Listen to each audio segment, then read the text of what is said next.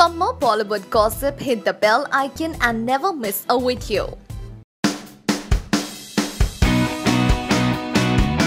The radio song launch for the Tubelight film was held in a grand ceremony in Dubai, and while fans were delighted to see the entire team of Tubelight shake a leg to the radio song, filmmaker Kabir Khan and main lead Salman Khan shared a happy moment as they posed for a selfie, probably as a memory from their third collaboration.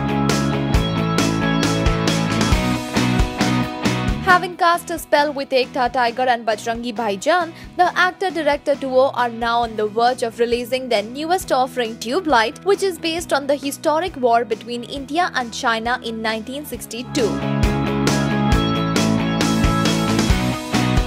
A love story of sorts, it will showcase myriad emotions like a lost brother, a cross-border love story and a lot more. Well, while we are happy to count the days left for the release, do let us know if this lovely selfie made your day. While Boney Kapoor seemed a tad disappointed when Salman Khan outright refused to work in No Entry Mein Entry.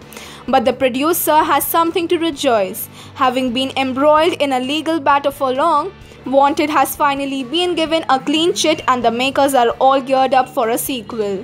Wanted 2. Good news is that Salman Khan has given Boney the green signal and the Dabangg Khan has also met with Prabhu Deva to discuss the nuances and plot for the film. Wanted changed the course of Salman's career in 2009 following a series of flops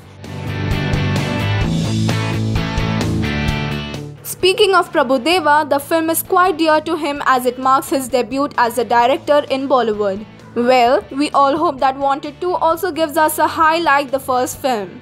And of course, Salman Khan's famous dialogue, Ek baar jo maine commitment kar is already ringing in our ears.